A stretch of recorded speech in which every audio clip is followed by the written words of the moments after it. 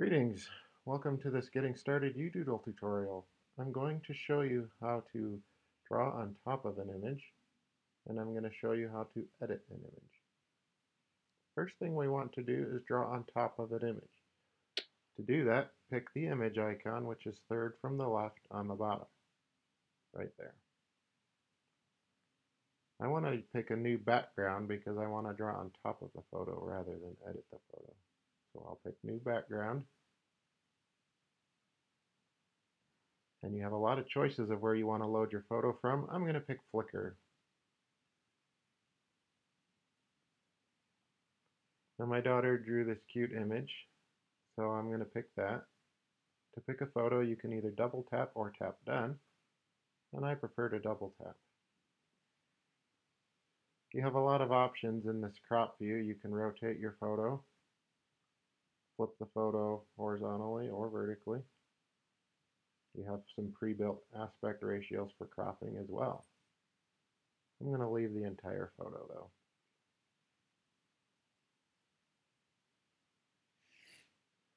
So I'm going to go ahead and pick a draw tool here. I'm going to pick the brush. There's a lot of different patterns here.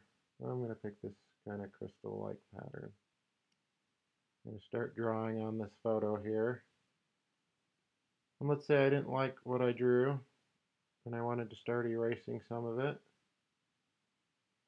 I could pick the eraser tool there, start drawing, and you notice how it only erases what I drew. It's not actually erasing the photo, which is great.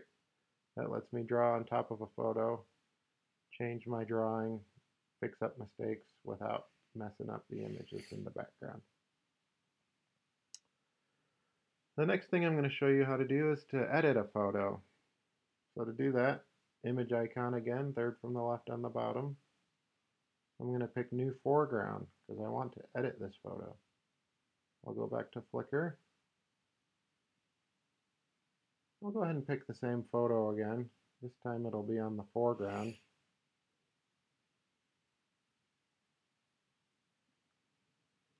Now you'll notice if I start using the eraser tool, we get transparency underneath. And that's because we're actually modifying the actual image. The same thing as if I use the brush tool and start drawing.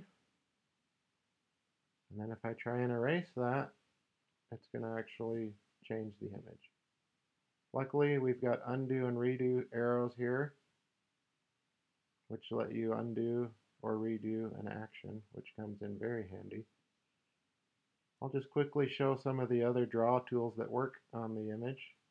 The flood fill is kind of interesting. You can change pieces of your image.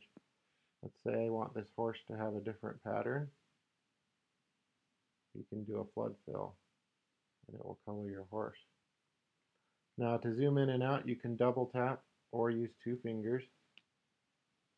When you want to pan your image you use two fingers and move the image around and then I single tap to fill in an area. And once again, I can undo and redo.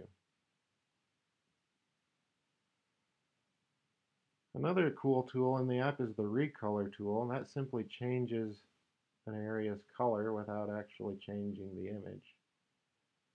So I'll give you a demonstration of that. You can see how the image is turning blue, but the actual texture of the image stays the same. Couple of other tools I'll go through is the smudge tool. It kind of acts like a paintbrush going over the image.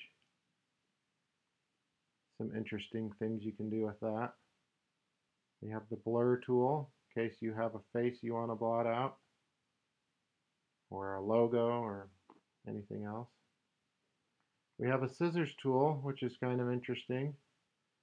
Let's say you wanted to cut out somebody's head the scissors tool would be a great tool for that.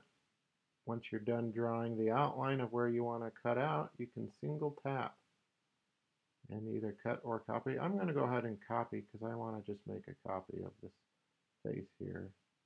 And then when you're ready, you can single tap and paste.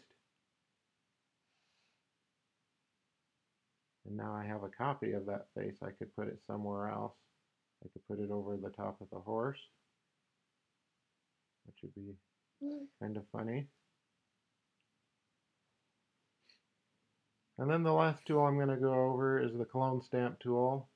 Now the clone stamp tool basically lets you draw part of your image somewhere else, which has a lot of interesting implications. So let's say I wanted to put this snowflake somewhere else. I can either single tap to stamp snowflakes everywhere, or I can drag my finger to clone that part of the image. And that's the getting started tutorial for You Doodle. Um, the possibilities are endless, so get creative. Thank you.